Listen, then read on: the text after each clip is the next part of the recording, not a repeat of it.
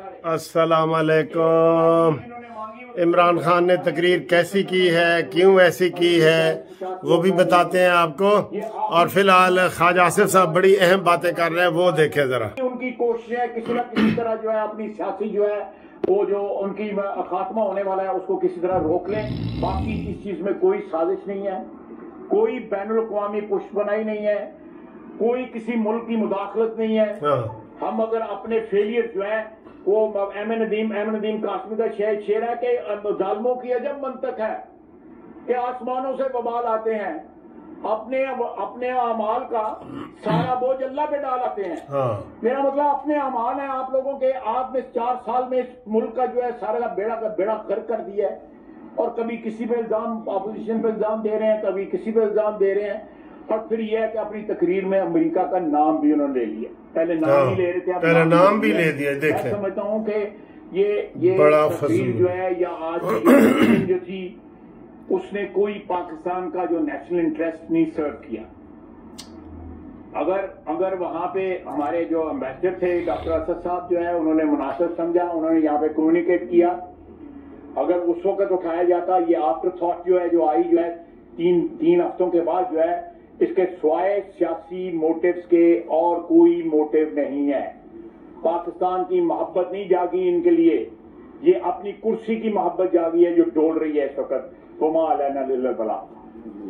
ये खड़े होकर ये भी ये साबित कर दिया कि इमरान खान की हुकूमत खत्म हो चुकी है। हम्म। अक्सरियत खो चुका है।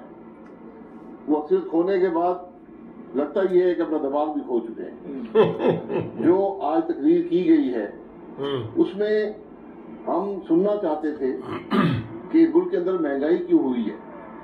आज मुल्क के अवाम तकलीफ़ में क्यों है? महँगाई की चक्की में क्यों फंस रहे हैं? आज मुल्क की मीशत क्यों तबाह हो चुकी है? मुल्क के अंदर एतमाद इन्वेस्टर का कारोबार का क्यों खत्म हो गया है? आज क्यों बेरोजगारी बढ़ गई है? आज इस अवाम के अवाम क्यों तकलीफ़ में है?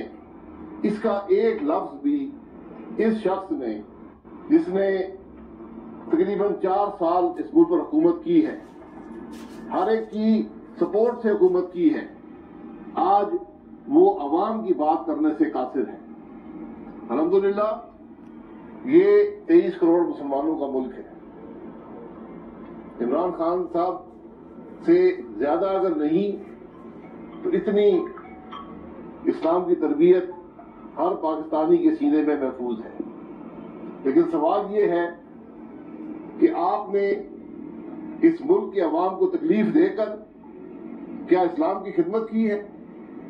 क्या आपने इस मुल्क को बदनाम कर कर इस्लाम की खिदमत की है? हम्म, जो रियासत मदीना के दावेदार थे वो इस्लाम की तारीख तो पढ़ लें। क्या जो इस्लाम के रियासत मदीना में देखें जी, ये इमरान खान ने तकरीर बद की है ना। आप यकीन करें, ये इंतहाई ख़तरनाक तकरीर है। उसने अमेरिका का नाम ले लिया है। अमेरिका ने किया क्या है? यार, अमेरिका ने हमें क्या कहा है? और इमरान ने अमेरिका के खिलाफ क्या किया कोई बताएगा?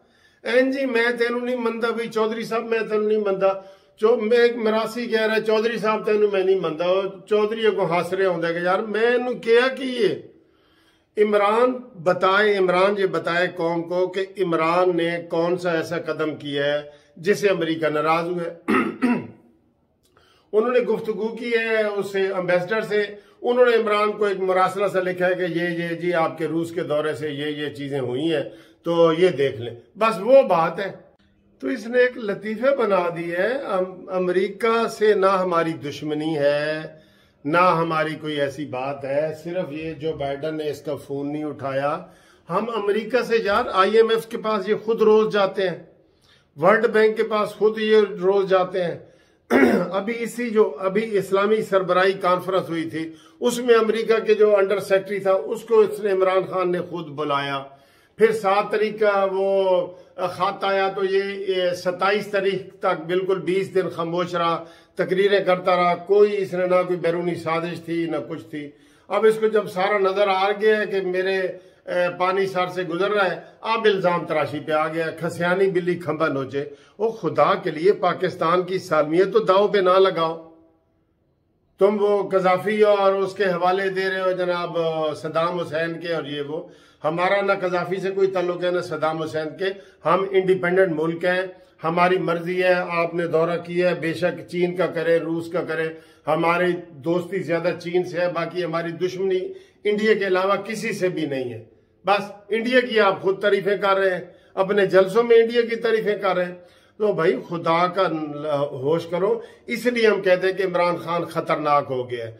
ये देखे ना, जाते जाते जाते जाते अमेरिका को हमारे हमारे मुखालिफ कर रहे तो क्या अमेरिका हमला कर दे हमारे ऊपर? ना हमारा उसे लेना, न देना। तो अमेरिका मेरा मुखालिफ हो गया। तू अमरीका बड़ा पिया होया जी कि उथे यार मैं हम लफज इस्तेमाल नहीं करना चाहता बस यही मिसाल है कि मरासी कहता जी कि मेरा मुकाबला पिंड के चौधरी नाल है जी तो पिंड के चौधरी ਜਿਹੜਾ ਉਹ कुछ समझते नहीं कोलो गुजर जाता है तो ਉਹਨੂੰ समझते ही कुछ नहीं और भाई अमेरिका के साथ ना हमारी दुश्मनी है ना कुछ है हम इंडिपेंडेंट मुल्क है उन्होंने वो लेटर लिखे है तू भी उसके जवाब में लेटर लिख दे कि मैंने रूस का दौरा किया है मैंने ठीक किया है और हम इंडिपेंडेंट मुल्क है, बस लिख दे अगर कोई ऐसा मुरासला आया भी है। अवल तो तू झूठ बोल रहा है और नवाज़ शरीफ का नाम तूने लगाया, ये इल्ज़ाम तुम्हें साबित करना पड़ेगा। आपने कहा कि उसमें नवाज़ शरीफ शामिल है, फवाद चौधरी, इन सबने कहा था, इमरान ने भी कहा था। नवाज़ शरीफ तो तेरे हिसाब पे सवार है, रात दिन तुझे नवाज़ शरीफ नवाज़ शरीफ। ये वही फजूल हरकतें, फजूल गुफ्तगु, फजूल बातें भाई, तेरे ऊपर पूरे अपने लोगों ने अदम एतमाद कर दिया है। गोली मारो मौलाना साहब को और इनको सबको सियासी तौर पे कुछ नहीं है जी। आपके सारे मुखालिफ हो गए और आपके अगर तीन चार महीने और रहे ना, आपको पीटीआई से निकालेंगे, आप अकेले रह जाएँगे, मैं आपको ये भी बता दूँ। इतने लोग मुखालिफ हो जाएँगे तेरे। तो तू अमेरिका अमेरिका अमेरिका को तुम पाकिस्तान से लड़ाना चाहता है? चल बता तू, अमेरिका को पाकिस्तान तेरे लिए अमेरिका से लड़ ले। तूने पाकिस्तान को दिया क्या है? अमरीका कहते जी, बस इमरान न हो बाकी खैर है, जेड़ा मर्ज़ी हो तो फिर दफ़ा हो, जाओ। तू न तो तू चीज़ की है? तूने अमेरिका के कोई इधर पाकिस्तान के लिए एटम बम बना दिए है, कोई मोटरवे बना दिए हैं सी पैक को तूने बंद किया हुआ है। क्या तूने किया क्या है पाकिस्तान के लिए? और कोई बात भी नहीं है। पहले भी एब्सोल्युटली नॉट उन्होंने कहा, जी, हमने इनसे अड्डे मांगे ही नहीं। खुद ही कहते हैं, जी, मैं मैं अड्डे नहीं दूँगा। उन्होंने मांगे ही नहीं है यार अड्डे। पर तू मुशरफ का चमचा रहा है। मुशरफ मुशरफ के ने जो मुशरफ ने अगर अमेरिका को अड्डे दिए थे तो तूने मुशरफ के झंडे उठा के रेफरेंडम में मेन पोलिंग एजेंट तू ही था मुशरफ का। तो उस वक्त तेरी गैरत जागनी थी। ना हम रूस के मुखालिफ हैं। रूस के सबसे ज़्यादा दौरे आसिफ अली जरदारी ने किए हैं। उस वक्त तो किसी ने को, कोई नहीं कहा। इतफाक की बात है तो जो ही रूस गया वहाँ जंग लग गई है। तो उन्होंने बस यही कहा होगा कि यार देखें सारे यूरोपीय यूनियन वाले और सारे उन्होंने यही कहा जी जो पहले ही तू कह रहा था कि यूरोपीय यूनियन वालों ने कहा है कि जनाब हम उसके ऊपर पाबंदियाँ लगा रहे हैं और आप उनको दौरे कर रहे हैं और ये वो। कोई बात ही नहीं है यार। वो कोई गल नहीं, कसम खुदा दी, कोई गल नहीं। ये बस ऐसे वो ड्रामा बना हुआ है, ड्रामा। वो जा रहे हैं ना, पागल होके जा रहे हैं। अब इसको कल नींद नहीं आएगी, कल जुम्मा है, हफ़्ता है। अब कुछ कुछ भी ये कर सकता है, ठीक है? मैंने तो यह खतरा है कि अमरीका तो मिजाइल ही न चला दे शुक्र है हमारी जो आर्मी है, वो इंडिपेंडेंट है और वो आज़ाद तरीके से सोचती है और वो इसकी हाँ में हाँ नहीं मिला रही। भाई, खतरा तुझे है। फिर भी जब डूबने लगा था ना, मैं मिसाल गलत दे रहा हूँ या सही, मुझे नहीं पता। तो उसने कहा था अल्लाह हूँ मैंने बचा दे। मैं अल्लाह ने कह रहा जी हूँ तेन असं नहीं बचा सकते फिर भी यही कहता था कि मूसा जड़ा ना, ओ लोगो, ए जड़ा मूसा है ना ये तू गुमराह कर रहा है। मैं थोड़े नाल है तू गुमराह कर रहा अजीब बातें सारी दुनिया कह रही है। तुझे अपने कह रहे हैं, अपने। के इमरान साहब, ऐसी कोई बात नहीं है। हमें कोई ऐसा अमेरिका से हमने, हम क्यों खाम खा उसके दुश्मन बने? अमेरिका ने कोई हमारे ऊपर पाबंदियाँ लगाई हैं। अमेरिका से तो तुम अभी कर्जा लेके आए हो। आईएमएफ की अभी अभी ताज़ा किस्त आई है। तो फिर ना जाते अमेरिका। ट्रंप के साथ तो तूने बड़ी ऐसे तस्वीरें बना बना के खींची हैं कि मैं जी अमेरिका ने कहा कि तू जा, ईरान भी तू गया सऊदी भी गया सालिस जी, अमेरिका ने तुझे मुकर किया अब अमेरिका तुझे चुभ रहा है। हमारा क्या ताल्लुक है? खाम खाई तू अमरीका को मुखालिफ पाकिस्तान का करना चाहता है। अक्ल के नाखों ले, ये सिक्योरिटी रिस्क है भाई। ये सिक्योरिटी रिस्क है। इसको इसको जो है ना, वो राणा सनोले ने कहा, इसका दिमागी मुआयना कराओ। बल्कि मैं कहता हूँ, परसों तक इसको किसी वो फाउंटेन हाउस में या किसी जगह पे बंद किए जाए, वरना ये उस तरह मरियम नवाज़ ने कहा, जी, बंदर के हाथ में उस तरह आगे ये अपने आप को भी नुकसान पहुँचा सकते हैं। मैंने समझा, यार, सारी कौम ने उस दिन भी सताइस वाले दिन कहा कि पता नहीं ये पटारी में से कौन सा सांप निकालेगा और क्या होगा। उधर जेब से चिट निकाल दी कि ये मेरे पास खाते आज भी सारी कौम टेंस होके बैठी, सात बजे खिताब है जी, फिर सवा सात है, फिर साढ़े सात है, फिर पौने आठ है, फिर आठ है। सारे भाई पत्नी क्या कहने वाला है? वही, भाई, तुमने कौमी टीवी पे तू आया हुआ है, तू कौम से खिताब कर। तू खिताब कर रहे मौलाना फजल से, शबाज शरीफ से, आसिफ जरदारी से। ये कौम है?